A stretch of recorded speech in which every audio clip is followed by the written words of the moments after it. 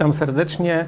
Mam na imię Kryszna Kirtan. Dzisiaj moim gościem jest e, jego świątobliwość Bhakti Abhai Sridhar e, Maharaj, pierwszy polski e, duchowny wyświęcony w tradycji Gaudia Wisznuizmu, jeden z, z, z, wczesnych liderów ruchu hipisowskiego z lat 70., osoba, która wprowadzała duchowość wschodu w, w naszą polską rzeczywistość jeszcze w czasach głębokiej komuny. W związku z tym pytanie takie, e, czym jest Wisznuizm, bo prawdopodobnie większość e, z ludzi nie zetknęła się z takim terminem i nie wie, czym to jest. Namaste, Rade, Rade.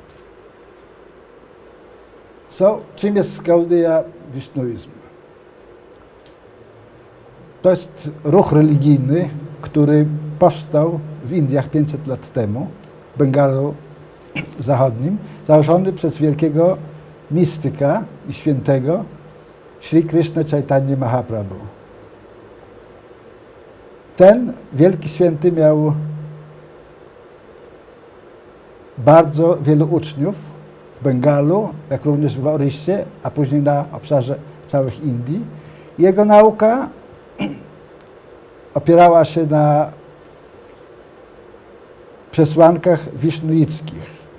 Znaczy, mieści się w tradycji wisznuickiej. W Indiach mamy w zasadzie takie dwie wielkie szkoły filozoficzne czy filozoficzno-religijne, shivaizm i wisznuizm, czyli tych, którzy czczą jako najwyższego Boga Siwę oraz tych, którzy czczą jako najwyższego Boga Wisznu.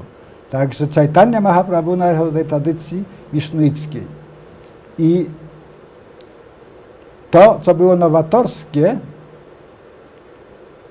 w jego nauce, to było to, że nauczał on kultu niczym nieuwarunkowanej miłości do Sri Sri Radhy i Kryszny, czyli do Boga oraz Jego wewnętrznej mocy miłości upersonifikowanej jako Shimati Radharani, prościej nazywana Radhą. Rozumiem. A w, czy jak można by w takim razie prosty, jeszcze prostszy sposób wytłumaczyć, czym jest w takim razie sam wisznuizm, czy jakie są podstawy y, nauki tej, tej tradycji duchowej? Pokrótce można e, powiedzieć w ten sposób, że wisznuizm jest y, mistyczno-religijną ścieżką personalizmu, czyli takim nurtem w duchowości indyjskiej, który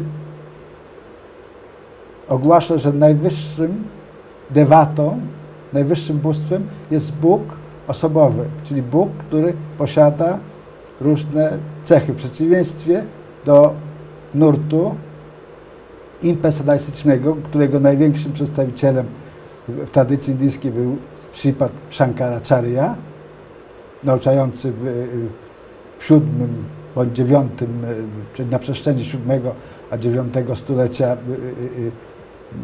Anno Domini w Indiach, który głosił, że y, Brahman, czyli najwyższy byt oraz Atman, czyli dusza jednostkowa w istocie są jednym i tym samym. Y, zazwyczaj, ponieważ y, oczywiście jestem zainteresowany takimi tematami, więc spotykam się z, z osobami, które twierdzą, że to jest rzeczywista nauka hinduizmu. E, właśnie to, co przed chwilą powiedziałeś. Jak, e, jak byś to skomentował? Nie, no komentarz y, y, wygląda następująco, że y, w połowie, w drugiej połowie XIX w Indiach nauczał bardzo popularny święty, który nazywał się Ramakrishna. Nauczał on w Kalkucie, był uczycielem bogini Kali i zgromadził koło siebie różnych uczniów, z których najzacniejszym był Swami Vivekananda.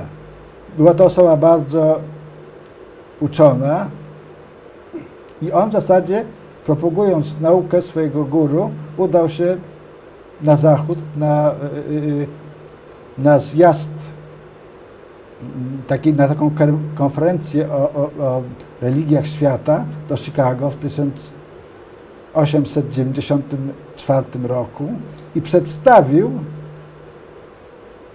filozofię i religię indyjską stosownie do swoich własnych przekonań, oznajmując uczestnikom tej konferencji, że w zasadzie ta myśl jest dominująca w całych Indiach. Także to jest część prawdy. Druga część sprawy jest taka, że y, y,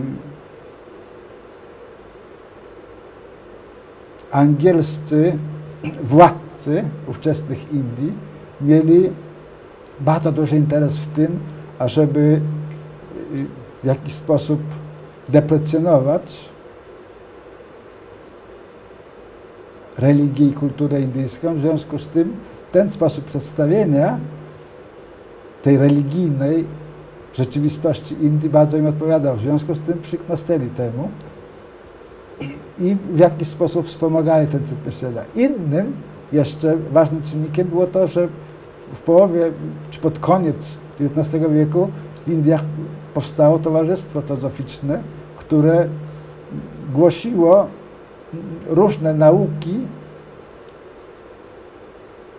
tradycji religijnej Indii w jakiś sposób dostosowane do za, kryteriów zachodniego myślenia, do zachodniej y, filozofii, a przede wszystkim do myśli chrześcijańskiej. Usiłując z tego y, y, stworzyć jakąś uniwersalną naukę, która będzie głoszona na obszarze całego świata.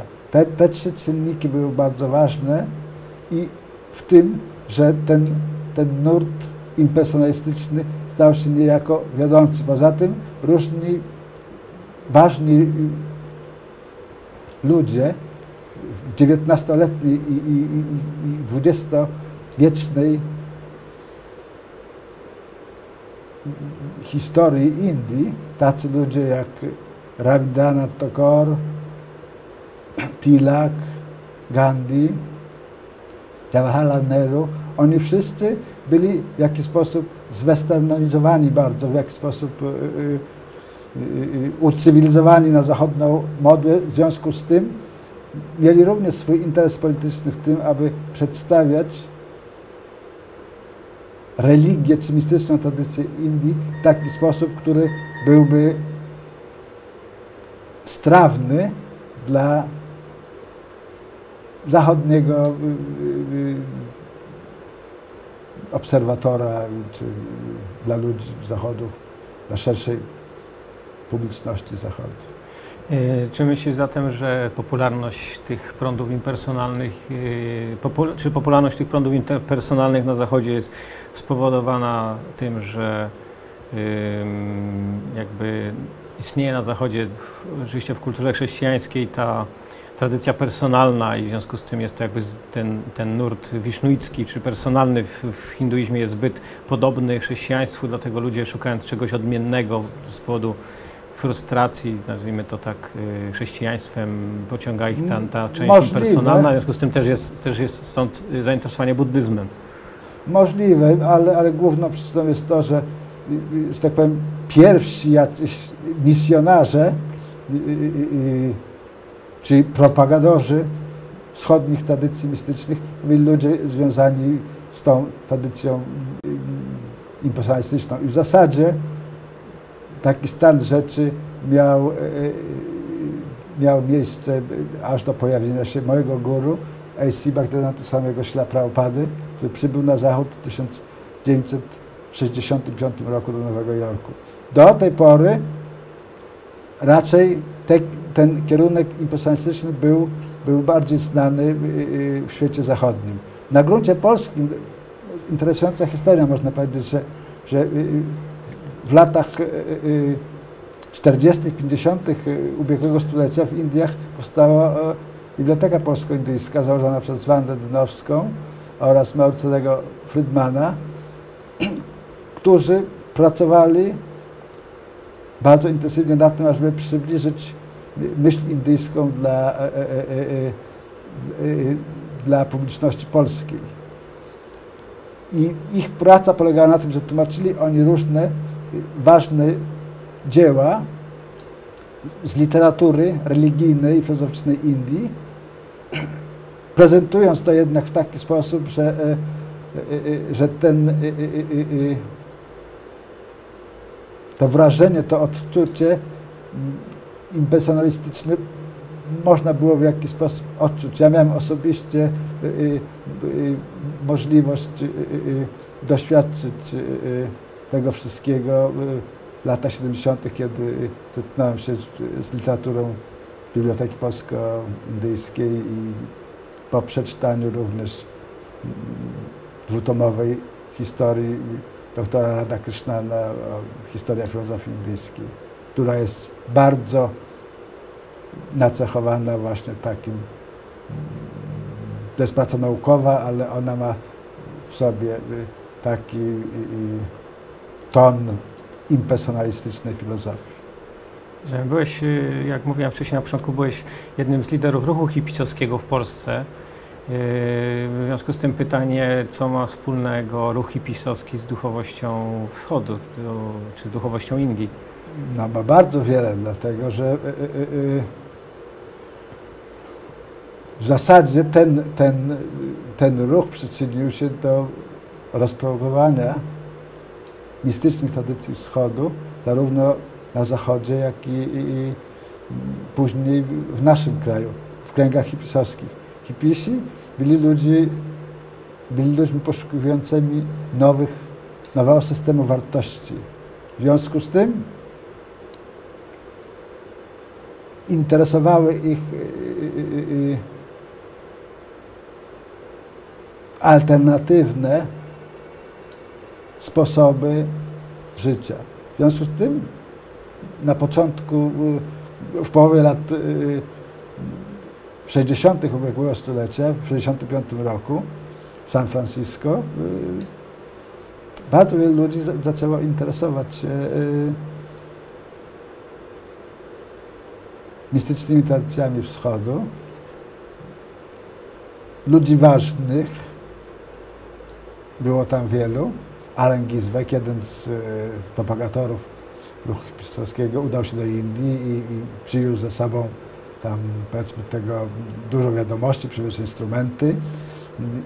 Beatlesi, bardzo y, taka ważna grupa muzyczna dla całego ruchu hipisowskiego, również udali się do, y, do Indii, mieli tam swojego guru w osobie Maharishi Mahesh Yogiego w Himalajach, a później również spotkali mojego Guru Dewę, samego Prabhupadę, a George Harrison został nawet jego inicjowanym uczniem i do końca życia był, był yy, wspomagał ten, yy, to Międzynarodowe Towarzystwo Świadomości Kryszny w swoich wczesnych płytach 1967 roku. Na, na Wolwerze i, między innymi możemy widzieć yy, jakieś y, y, y, postacie z panteonu hinduistycznego. Na płytach Jimi Hendrixa z lat 68-67 również są, jest jakiś obrazek Jimmy'ego Hendrixa, który wygląda tak jak przedstawiony jak, jak, jak, e, jak Wisznu. Steppenwolf, wilk stepowy, inna grupa hipisowska, która nawiązywała do, e, do takich tradycji wschodnich, wiele, wiele innych. Także poprzez muzykę John, John McLaughlin, Carlos Santana, to byli ludzie, którzy, którzy tą, tą filozofię wschodu i religię propagowali w swoim życiu i, i poprzez swoją pracę. No, jak to wyglądało w takim razie w Polsce? No bo wiemy, że w latach 60. i 70. w Polsce panował komunizm, w związku z tym te prądy, trendy zachodu w jakiś sposób przenikały, ale były też pewnego rodzaju ograniczenia jakby działania hipisowskiego na terenie y, kraju. Jak to wyglądało? Nie, no, jak to wyglądało? Był zakaz zgromadzeń, czyli je- jeśli zgromadziło się więcej niż trzy osoby, to, e, to też było zakazane zgromadzenie, które można było rozpędzić. W związku z tym w tym ruchu hipsterowskim y, y, y, zostały wypracowane pew, pewne metody. Jedną z takich metod było, ażeby na przyczepkę niejako y, y, instalować się w Przyjaciół Polsko-Indyjskiej. W Warszawie, we Wrocławiu, Poznaniu, w Toruniu, w Lublinie, w Krakowie. To były takie główne ośrodki, gdzie znajdowały się lokalne oddziały Towarzystwa Przyjaciół Polsko-Indyjskiej. No i tam, powiedzmy się, przychodziło i tam można było pod tym parasolem ochronnym tej instytucji się spotykać i dyskutować i, i zdobywać literaturę. W 1973 roku we Wrocławiu, również w oparciu o parasol ochronny TPPI, powstała Biblioteka Polsko-Indyjska, która y, miała na celu tylko jedną rzecz, ażeby w ośrodku w Miejskim Domu Kultury y, móc się spotykać i, i, i dyskutować te rzeczy. Empiki w tamtych czasach, to były te miejsca, gdzie, y, gdzie można było te rzeczy robić. No i ważne osobowości typu Andrzej Ubanowicz w Katowicach, znany, y, znany y, malarz, który organizował w Polsce y, pierwsze zendo, czyli miejsce, gdzie praktykowało się zen buddyzm. Andrzej Krajewski Bola w, Warszawie propagował wraz z Maciejem Zębatym w jakiś sposób OSO. W 1976 roku, myślę, w polskim radio na Trójce leciał y, y, taki program 15, o 15, chyba w każdą środę, albo każdego dnia, nie pamiętam już dobrze, była czytana Wielka Księga Tajemnic y, y, Bhagavana Shirashisha, czyli później znanego jako, jako Osho. Także różni tacy, y, tacy ludzie, y, Towarzystwo Różdżkaszy, czy radiestetów y, w Warszawie y, pod przywództwem pana Lecha Wasego Stefańskiego również organizowało podobne historie. Organizowało się Towarzystwo Psychotoniczne. To były takie miejsca, przystanie, oazy, gdzie młodzi ludzie z mojego pokolenia mogli się udawać i, i gdzie mogli i, i, tam mogli mm, no, w jakiś sposób bliżej zapoznawać się mm, z tymi tradycjami mistycznymi wschodu i, tak to było też i ze mną. Rozumiem. A jak w takim razie wyglądały początki czy praktyki w Twojej tradycji, czyli w Gaudia w tym czasie? Czy powstawały jakieś pierwsze ośrodki, jakieś y, miejsca medytacji, jakieś ashramy, czy coś takiego? Jak, jak wyglądało, jak to wyglądało w tym czasie? To, to wyglądało w ten sposób, że w 1975 roku przyjechał do Polski jeden z uczniów mojego późniejszego guru, Dawid Jakubko, Kirtiraj Das. Przyjechał do Lublina, szukałem swoich polskich korzeni, ale jednocześnie też yy, z rozkazu swojego guru, ażeby na gruncie polskim mm, propagować filozofię Międzynarodowego Towarzystwa Świadomości Kryszny, w skrócie ISKONu. To była pierwsza misja. Były dwa czy trzy spotkania w Lublinie. Nawet ten y, y, y, Kirtiraj zaprzyjaźnił się z, z późniejszym ambasadorem Polski w Indiach. Ale wtedy byli młodzi, młodymi ludźmi. Jeden był doktorantem na, uni- z uniwersytetu, na Uniwersytecie Warszawskim, drugi przyjechał szukać swoich korzeni. W każdym razie rok później, w 1976 roku, na zlot hipisowski do Częstochowy przyjechał Gurudas. Inny z najbliższych współpra- współpracowników mojego guru, samego Prabhupady. I to było, można powiedzieć, takie pierwsze mm, spotkanie ewangelizujące w Polsce. No ja przyjechałem na to spotkanie i, i oglądałem te kolorowe książki, te wspaniałe płyty i, i bardzo się zainspirowałem. Kiedy przyjechali ci misjonarze do Polski po raz następny, jesienią, zaprosiłem mu się, ich do siebie do domu i na tydzień byli u mnie w domu i w ten sposób e, zadowolony z tej praktyki, jaką prowadzili, widząc, że robią, wykonują do, dokładnie to, o czym mówią, to mi zaimponowało. Będąc młodym, 23-letnim człowiekiem, yy, no, zakochałem się w swoim guru i postanowiłem zostać jego, jego uczniem. W związku z tym pierwsza taka świątynia Międzynarodowego Towarzystwa Świadomości Kryszny w Polsce, była u mnie w domu we Wrocławiu przy ulicy Osińskiej 16 11. I tak trwało to z, przez kilka lat, aż do roku 1980, kiedy już jako ISKON, działający nielegalnie w tamtych czasach w Polsce, kupiliśmy farmę w Czarnowie, która funkcjonuje notabene po dzień dzisiejszy. Powstał ośrodek w Warszawie, który skupiał lokalnych bachtów tutaj. Tak to się zaczęło.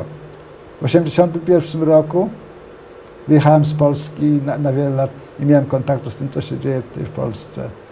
Także, yy, ale w tym czasie,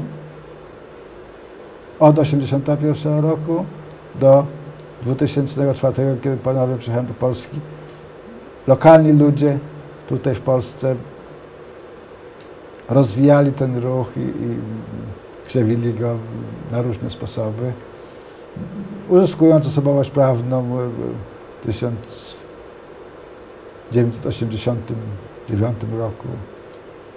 No także w chwili obecnej działają jako e,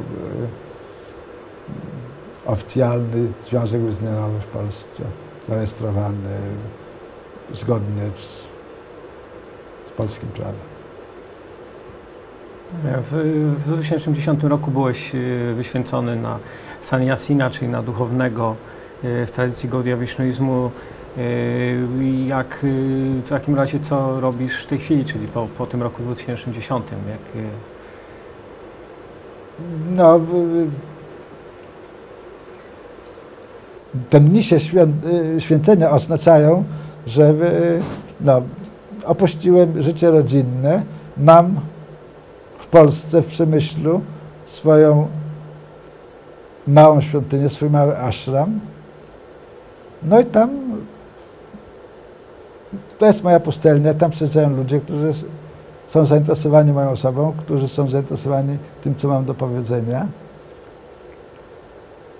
Podróżuję również po Polsce, gdziekolwiek mnie zaproszą i opowiadam o tym, jak ten ruch powstał w Polsce oraz opowiadam o swojej osobistej, życiowej historii. No i przede wszystkim mówię o naukach Sri Krishna Chaitanya Mahaprabhu, ponieważ jego nauki są istotą wisznuizmu Gaudiya, czyli wisznuizmu bengalskiego. Y, czy mógłbyś w takim razie krótko powiedzieć, y, czym są, jakie są te nauki Chaitanya? Nie, te nauki są takie, że w zasadzie ludzie Nikt nie chce być nieszczęśliwy, każdy chce być szczęśliwy. Ludzkość przez całą swoją historię w najróżniejszy sposób definiowała to, jak można osiągnąć y, szczęście. Różne kultury na przestrzeni dziejów y,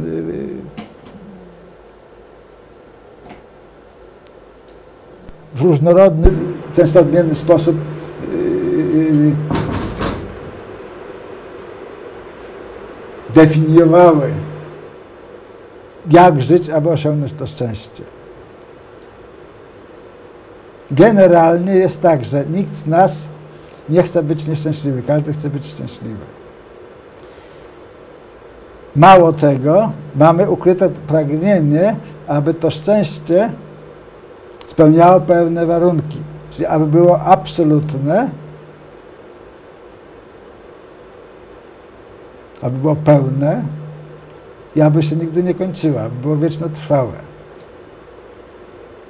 I teraz tradycje mistyczne wschodu mówią o tym, że y, ten typ szczęścia jest możliwy do osiągnięcia jedynie poprzez praktykę życia duchowego, ponieważ osiągnąwszy pewien zaawansowany poziom życia duchowego, człowiek jest w stanie zapanować przed, nad różnymi niższymi impulsami i wrażeniami. Czyli ta jego część zwierzęca, jego jestestwa zostanie w jakiś sposób uspokojona i ucywilizowana i wtedy znajdzie się miejsce, ażeby y, y, y, te wartości duchowe zostały wyeksponowane. Co droga do tego polega na tym, że przyjmuje się w wisznuizmie bengalskim, że aby osiągnąć to absolutne szczęście, to pełne szczęście, trzeba zrozumieć, że są trzy rzeczy tak naprawdę, które istnieją we wszechświecie. To jest Bóg, to są żywe istoty oraz to jest Maja, czyli iluzja. I teraz te trzy czynniki współgrają ze sobą. Bóg albo Krishna, jak określa się najwyższą istotę tradycji wisnuizmu Gaudiya, jest bytem absolutnym. Posiada, nazywa się inaczej Bhagawanem, czyli jest posiadaczem sześciu różnych doskonałości. Nazywa Bhaga, stąd Bhagavan, posiadacz tych doskonałości.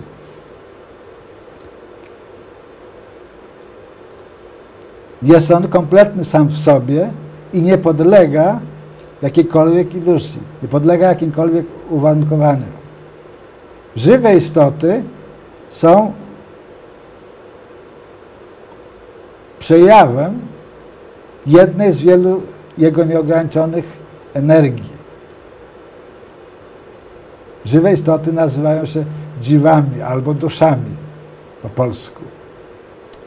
I teraz są one stworzone, jakby to można powiedzieć, w, w oparciu o, o język biblijny, na obraz i na podobieństwo Boga.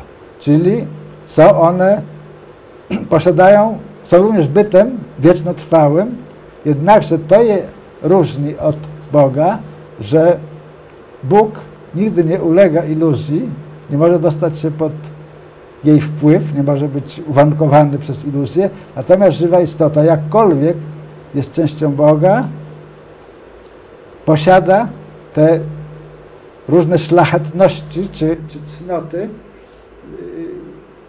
w bardzo niewielkim rozmiarze i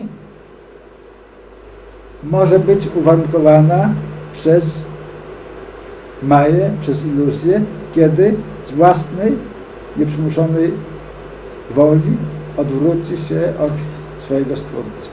Rozumiem. Dziękuję bardzo za e, rozmowę. E, ja mam na imię Krishna Kirtan, a waszym gościem był, e, był jego świątobliwość Swami Bhakti Abhay Siddhar Maharaj, pierwszy duchowny wyświęcony w tradycji Gaudiya Wisznuizmu w Polsce. Dziękuję bardzo za poświęcony czas. Do zobaczenia. Inspirujące rozmowy, ciekawi ludzie, niesamowici goście. Zapraszam Was serdecznie do oglądania mojej telewizji. Ja nazywam się Tomasz Słodki, a jeśli chcecie otrzymywać powiadomienia, to subskrybujcie nas na YouTubie i polubcie na innych kanałach w mediach społecznościowych. Dzięki i do zobaczenia.